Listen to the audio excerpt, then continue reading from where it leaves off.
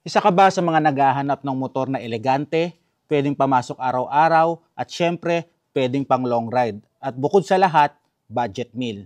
So samahan nyo ko at pag-usapan natin itong motor na to, ang Slick 150 ng FKM Motorcycle Philippines. Let's go!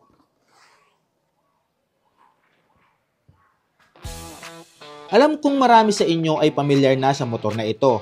Pero syempre, hindi natin nahayaang lumagpas ang pagkakataon na bigyan ito ng masusing review.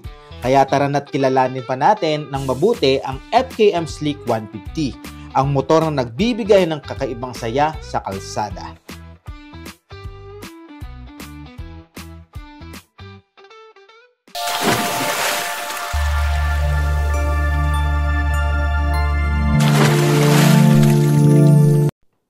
Una sa lahat, pag-usapan natin ang performance ng FKM Sleek.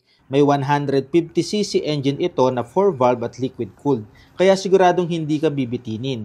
With 12.1 kW at 8,500 RPM at 14.6 Nm of torque at 6,500 RPM, maaasahan mo ang lakas kahit na bigla ang akyatan o hataw sa highway. At dahil EFI na ang fuel system, efficient na rin ito sa gas consumption. Automatic clutch at CVT belt driven ang transmission nito. So para sa mga beginner or chill riders, wala ka nang aalahaning pagsishift ng gears. Mas smooth ang takbo, mas relax ang ride kahit na traffic. Sa usapang suspension, double ang shock nito sa harap at likod. Kaya kahit medyo malubak ang daan, kayang-kaya ng FKM Slick 150. This brakes pa both front and rear with single channel BCS, which means mas responsive ang preno mas control ng stopping power. Perfect for sudden stop.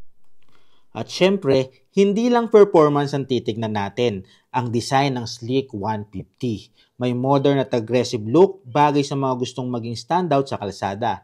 760mm seat height sa tamang-tama ang taas for most Pinoy riders. At ang 9.2 liter fuel capacity niya ay siguradong makakasama ka sa malayong rides without worrying about refueling. Sa dimensions, Overall, 186 cm length with a 1,322 mm wheelbase. Perfect size for maneuvering through city streets. Yung tire setup na 100 by 80 sa harap at 120 by 70 sa likod provides good traction and balance. Kaya kahit wet or dry roads, stable ka. Para sa 123,000, sulit na sulit ba ang Sleek 150? Absolutely! Lakas, looks, at comfort in one package. Kung naghahanap ka ng reliable na motor for daily commute or weekend rides, hindi ka bibiguin ng Sleek 150. Ano sa tingin nyo guys? Alright guys, umpisahan natin sa harapan nitong motor na ito. Kung mapapansin nyo guys dito, meron siyang clear na visor.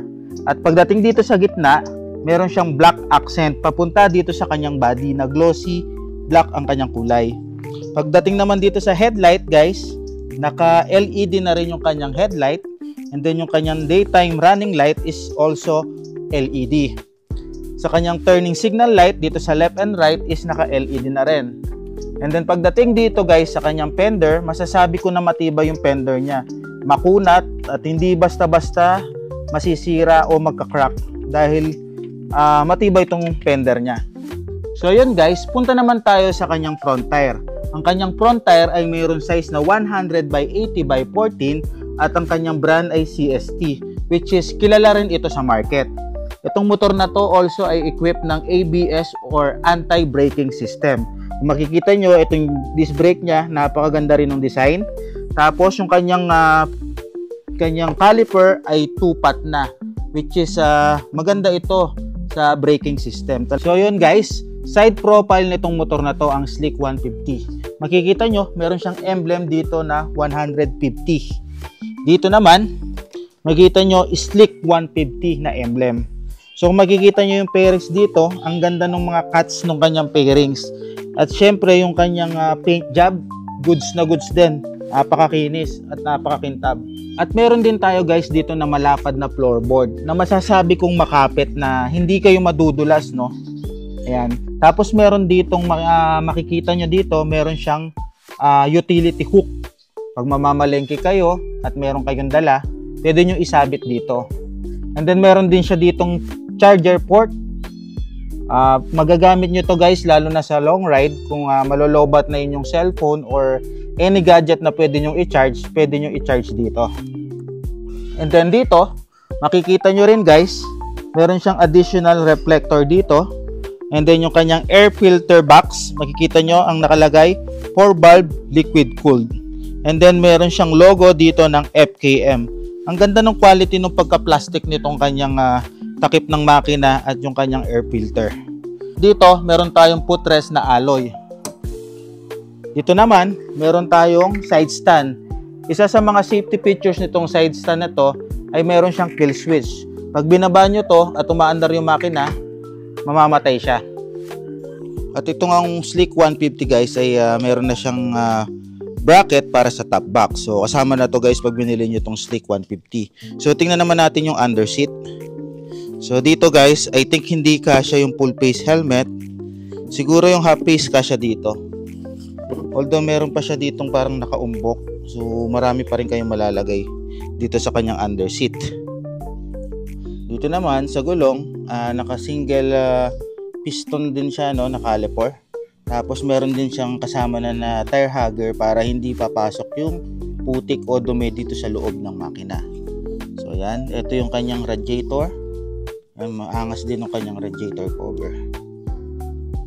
Punta naman tayo dito sa kanyang panel. So dito sa kanyang panel guys makikita nyo meron siyang speedometer. Tapos dito makikita nyo yung fuel gauge nyo yun yung uh, odometer tsaka meron din siyang clock dito nyo makikita yung turning signal light so hazard natin para makita nyo so ayan yung itsura nya dito, makikita nyo kung activated yung ABS and then yung kanyang check engine. Tapos dito yung kanyang mga button para sa mga adjustment ng modes niya. Dito naman tayo sa mga buttons niya dito sa left side. Meron tayo ditong passing light. Meron tayong uh, high beam and low beam. Meron tayong turning signal light. And then yung kanyang horn. Yung kanyang uh, brake lever dito sa left side is adjustable na rin siya. Dito naman tayo sa right side guys. Makikita natin dito, meron tayong hazard button.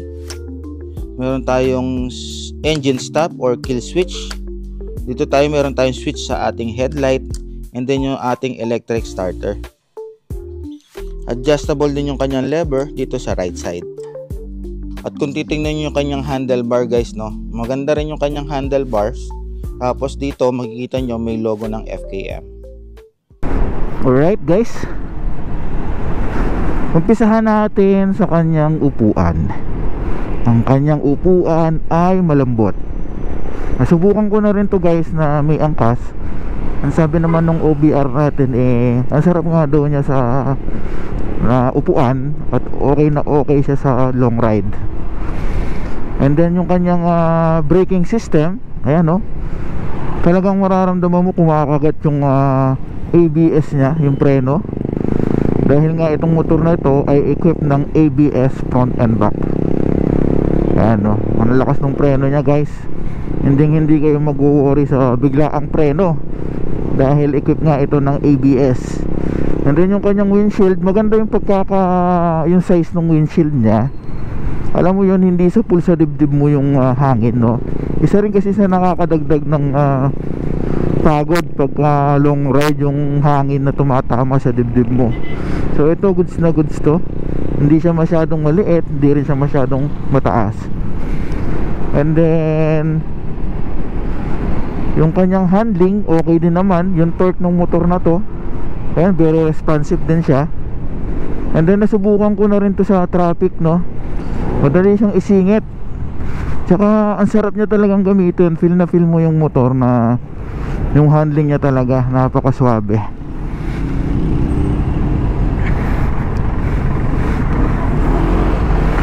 And then dahil nga po uh, double shock absorber ito sa front and back talaga namang napakalambot nung kanyang shock din no? Samahan mo pa nga nung malambot na upuan. Very relaxing yung kanyang uh, pagdadrive yung ating pagdadrive. And then yung ating uh, paa pwede nating i-stretch. Pwede nating iunat dito. Talagang hindi ka mangangawit sa mahaba ang biyahe.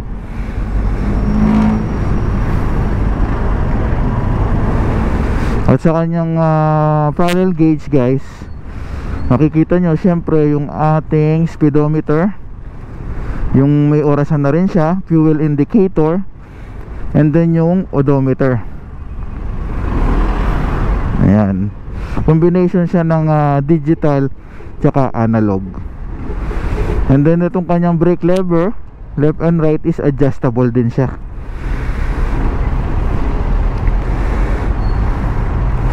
Yung kanyang side mirror, goods din, malaki. Visible na visible yung nasa left and right side mo.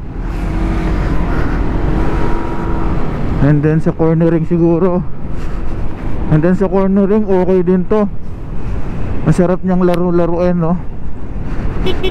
And then, uh, okay na okay din to sa mga bumabiyahe araw-araw papasok ng trabaho.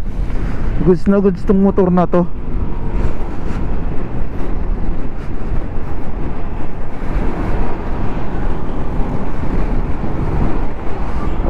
Alright, ang sarap niyang gamitin. Right. So yun lang guys. Uh, I hope na marami kayong uh, nalaman about sa motor na to. So abangan nyo po yung mga iba nating uh, motor review sa FKM Motorcycle Philippines. And syempre maraming maraming salamat sa FKM Motorcycle Philippines Sa walang sawa nilang suporta sa ating channel sa pagpapahiram nila ng kanilang unit. So yun guys. Maraming maraming salamat sa inyo. And uh, ride safe always and God bless us all